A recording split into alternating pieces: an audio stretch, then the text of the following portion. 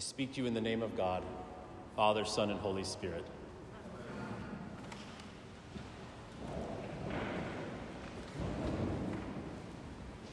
When I was in elementary school and our class couldn't go outside for recess because of stormy weather, pretty much days like today, we would sometimes play a game called Seven Up. The game was very simple and a great way to pass the time in an era as yet innocent to the time warping insistence of cell phones and other electronic devices.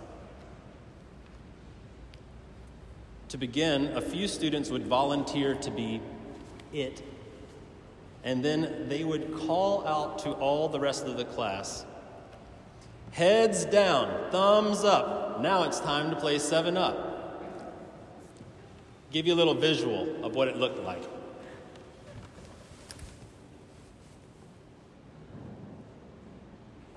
That's if you were in your desk still. Everyone in the class put their heads down in their folded arms on their desk, closing their eyes and making sure that they couldn't see their classmates who were it roaming through the desks. I mean, I guess you could cheat if you wanted to, but that was not really the fun part of the game.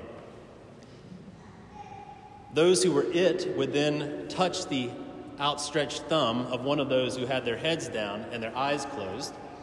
And then, once seven people's thumbs had been touched, everyone picked their heads up and tried to guess who had touched their thumb.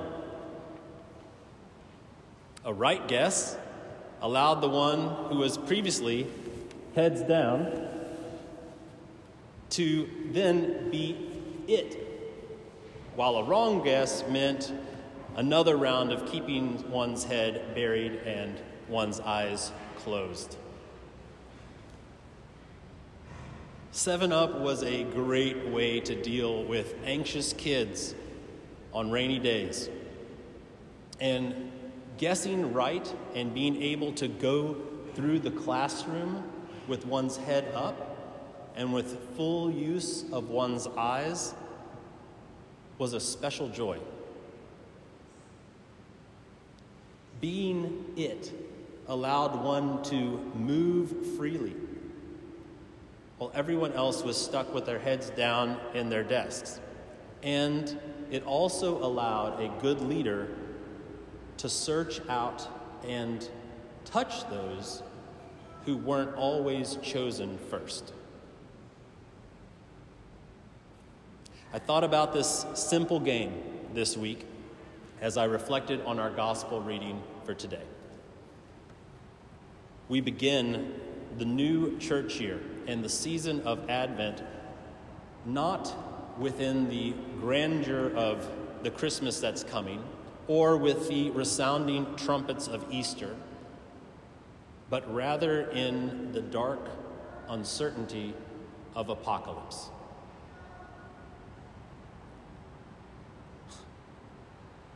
I must admit, there have been some years where I've come to the ominous Advent readings and felt them clashing with my current reality. Years in which the distress, fear, and foreboding that Jesus mentions seem quite distant to our lived experience.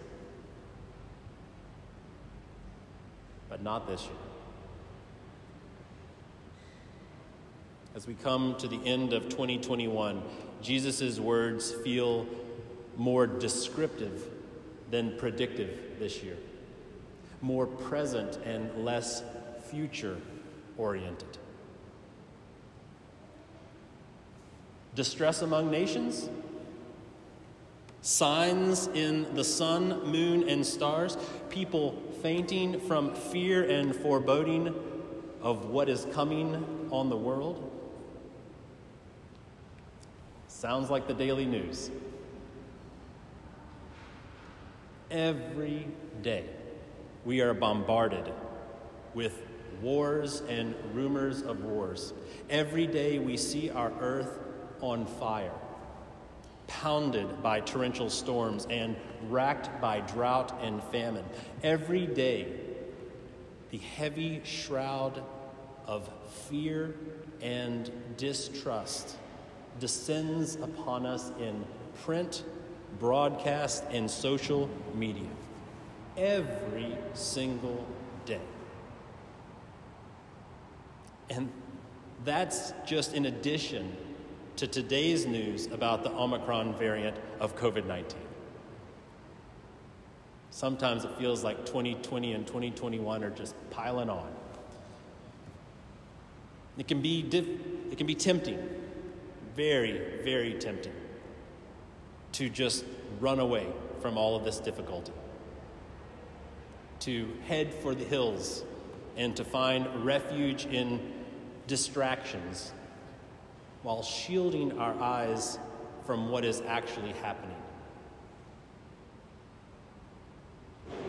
While the powers of the heavens are shaken, and while our own inner worlds and relationships wrestle with instability, while the storms of this life blow and batter us, we might be tempted to simply shut our eyes, to wail, and to deny any agency we might have to help right the ship.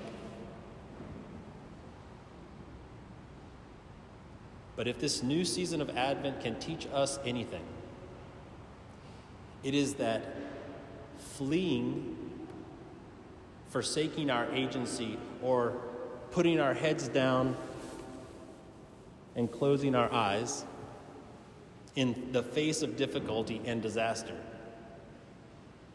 That is not Jesus' way. Heads down, thumbs up makes for a great game of 7 Up, but it does not work as a life approach for a faithful follower of Christ. Instead, we are called to see the storms and the fear and the hardship that face us as opportunities to witness the inbreaking of God's kingdom. We are called to keep our heads up and open our eyes to the reality that God is with us in the midst of such trials, such challenges, and such storms. God is with us and calling us to get up and to face the foreboding news and events of our days with a heart full of faith and the strength and the resilience that only come from an unabashed reliance upon the Spirit of God for our guidance. We Christians are called to be truth tellers, but we are not called to be doom sayers. We are called to be doom facers and to work together in order to turn the dark headlines of our day into the glad tidings that we know through the Gospels. To stay alert and to be constantly on the lookout for the marks of God's kingdom breaking through and heralding a new world. Breaking through like fresh fig leaves that announce summer's arrival.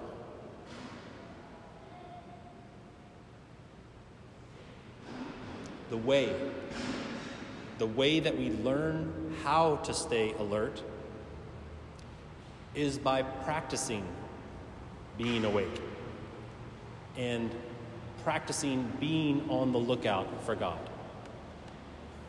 In both the beautiful and precious moments of this life, epitomized for me by our Thanksgiving celebration on Wednesday, in those moments, but also in the difficult and dark valleys as well, when the sirens run back and forth on Via Nazionale with no end. We call this practice prayer.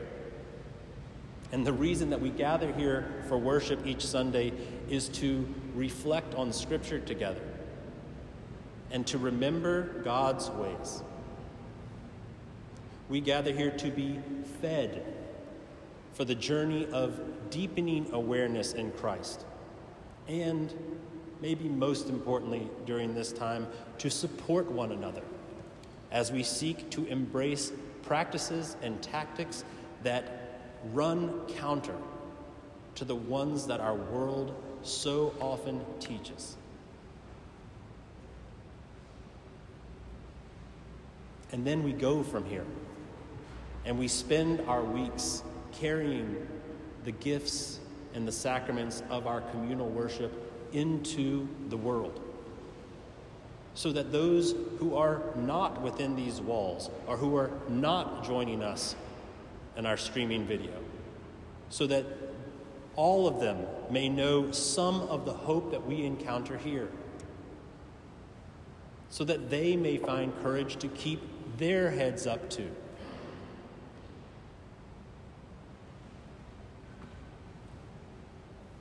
To let fear and foreboding give way to faith. A faith which leads to the kind of bravery that it takes to act in common for the good of others.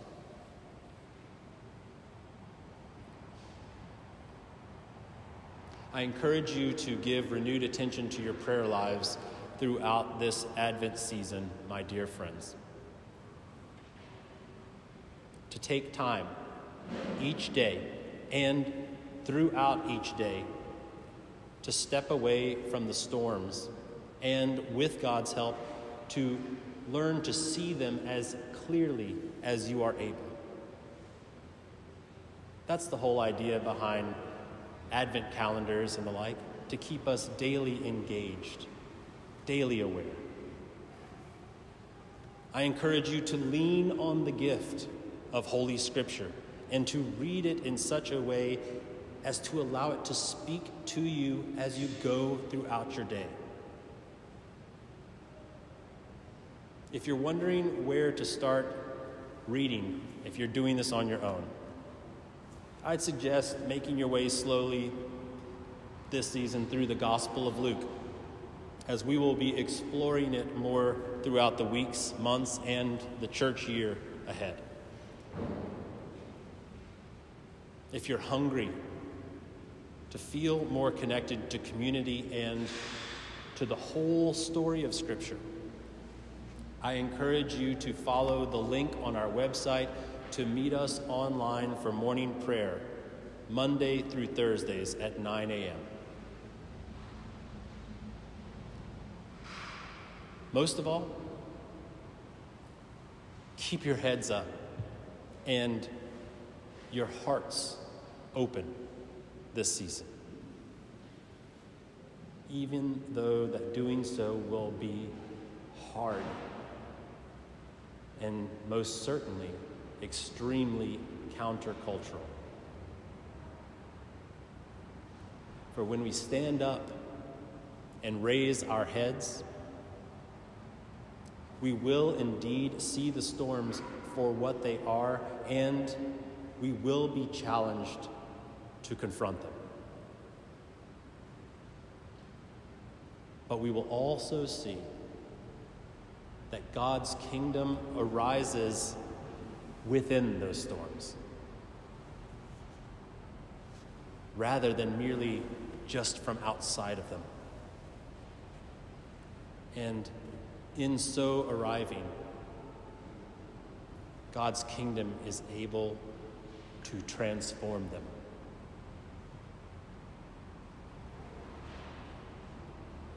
That is the fruit and the sign of our redemption drawing near. The subtle yet insistent transformation of our world. And what a gift. What a gift it is to see it coming. What a gift it is to keep our heads up and searching for it. What a gift it is to serve as midwives for its delivery into a fearful and hurting world.